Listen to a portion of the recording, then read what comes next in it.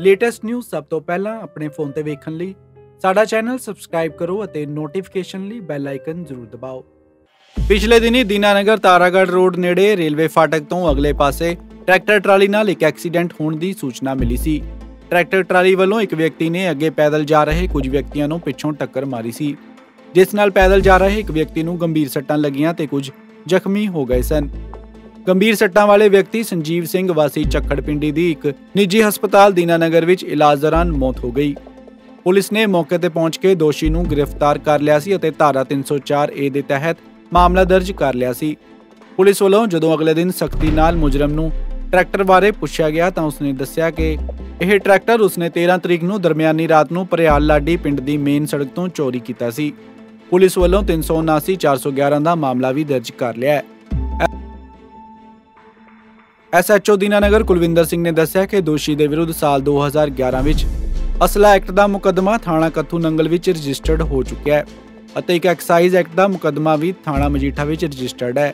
ਦੋਸ਼ੀ ਦੀ ਪਛਾਣ ਬਲਜਿੰਦਰ ਸਿੰਘ, ਪੁੱਤਰ ਅਮਰੀਕ ਸਿੰਘ, ਵਾਸੀ ਖਾਸਾ ਮਜੀਠਾ ਦੇ ਰੂਪ ਵਿੱਚ ਹੋਈ ਹੈ। 13 ਤੋਂ 18 ਨੂੰ ਦੀਨਾਨਗਰ ਤੋਂ ਤਾਰਾਗੜ੍ਹ ਰੋਡ ਤੇ ਝੱਖੜਪਿੰਡੀ ਪਿੰਡ ਦੇ ਨੇੜੇ ਟਰੈਕਟਰ ਟਰਾਲੀ ਹੇਠ ਇੱਕ ਵਿਅਕਤੀ ਆ ਕੇ ਮਾਰਿਆ ਗਿਆ ਸੀ।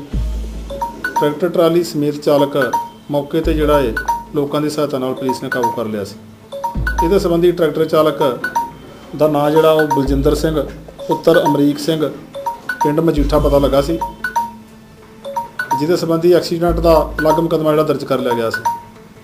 ਜਦੋਂ ਦੋਸ਼ੀ ਨੂੰ ਹਿਰਾਸਤ ਵਿੱਚ ਲੈ ਕੇ ਟਰੈਕਟਰ ਟਰਾਲੀ ਦੀ ਮਾਲਕੀ ਤਸਦੀਕ ਕਰਾਉਣ ਦੀ ਕੋਸ਼ਿਸ਼ ਕੀਤੀ ਗਈ, ਤਾਂ ਉਹ ਕੋਈ ਸਪਸ਼ਟ ਜਵਾਬ ਨਹੀਂ ਦੇ ਸਕਿਆ। ਜਿਸ ਤੇ ਉਹਨੂੰ ਡੂੰਘਾਈ ਨਾਲ ਪੁੱਛਗਿੱਛ ਕਰਨ ਤੇ ਉਹਨੇ ਪੁਲਿਸ ਪਾਸ ਆਪਣਾ ਇਹ ਗੁਨਾਹ ਕਬੂਲ ਕੀਤਾ ਉਹਨੇ ਟਰੈਕਟਰ 'ਚ ਟਰਾਲੀ ਸੁਜਾਨਪੁਰ ਥਾਣਾ ਜ਼ਿਲ੍ਹਾ ਪਠਾਨਕੋਟ ਦੇ ਵਿੱਚੋਂ ਪਿੰਡ ਮਨਵਾਲ ਦੇ ਨੇੜੇ ਚੋਰੀ ਕੀਤਾ ਸੀ। ਟਰੈਕਟਰ ਇੱਕ ਜਗ੍ਹਾ ਤੋਂ ਚੋਰੀ ਕੀਤਾ ਸੀ, ਟਰਾਲੀ ਦੂਸਰੀ ਜਗ੍ਹਾ ਚੋਰੀ ਕੀਤੀ ਸੀ। ਉਹਨੂੰ ਇਹ ਲੈ ਕੇ ਜਾ ਰਿਹਾ ਸੀ ਤੇ ਕਾਹਲੀ ਵਿੱਚ ਟਰੈਕਟਰ ਚਲਾਉਂਦਿਆਂ ਰਸਤੇ ਵਿੱਚ ਐਕਸੀਡੈਂਟ ਹੋਣ ਕਾਰਨ ਇਹ ਵਿਅਕਤੀ ਮਾਰਿਆ ਗਿਆ। ਇਹਦੇ ਸੰਬੰਧੀ ਇਹਦੇ ਉੱਤੇ ਅਸੀਂ ਬਣਦੀਆਂ ਧਾਰਾਵਾਂ ਤਹਿਤ ਚੋਰੀ ਦਾ ਮਾਲ ਲੈ ਕੇ ਜਾਣ ਤੇ ਰੱਖਣ ਸੰਬੰਧੀ ਵੱਖ ਮੁਕੱਦਮਾ ਦਰਜ ਕਰ ਲਿਆ ਜੀ। ਪੇਸ਼ ਅਦਾਲਤ ਕਰਕੇ ਰਿਮਾਂਡ ਉਹਦਾ ਲਿਆ ਜਾ ਰਿਹਾ, ਜਿਹਦੇ ਕੋਲੋਂ ਪੁੱਛਗਿੱਛ ਕਰਕੇ ਪਤਾ ਲਾਇਆ ਜਾਵੇਗਾ ਕਿ ਇਹਦੇ ਨਾਲ ਇਸ ਵਾਰਦਾਤ ਵਿੱਚ ਹੋਰ ਕੌਣ-ਕੌਣ ਸ਼ਾਮਲ ਸੀ। ਤੇ ਇਹਨੇ ਪਹਿਲਾਂ ਕਿੰਨੀਆਂ ਵਾਰਦਾਤਾਂ ਕੀਤੀਆਂ?